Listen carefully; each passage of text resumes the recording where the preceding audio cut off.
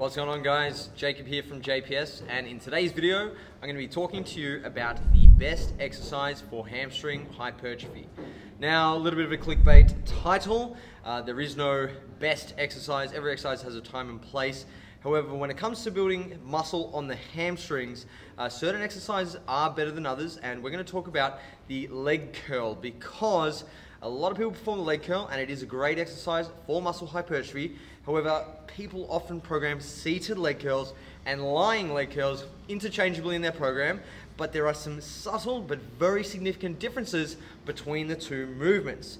Now, recently there was a study by Sumiaki and others just in October where they compared uh, 20 participants who performed the seated versus lying leg curl on either leg. Now, this is pretty cool because the subjects were their own control.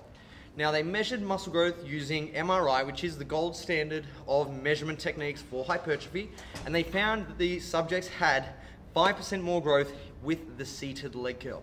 Now this makes sense because the seated leg curl trains the hamstrings in a lengthened position and confirms prior research that there is some stretch mediated hypertrophy that goes on. So in summary, if you have access to a seated leg curl, it might be a better movement because you will get a little bit more stimulus and growth in the biarticulate portion of the hamstring, uh, the upper hamstring, because it is undergoing a stretch when you're seated and your hips are flexed. So guys, that's the 101 on the best way to perform the hamstring curl. Now I will say that anecdotally, I think a lot of people get more out of the seated leg curl because when they perform a lying leg curl, their hips are moving and there's a lot of compensatory movement that goes on.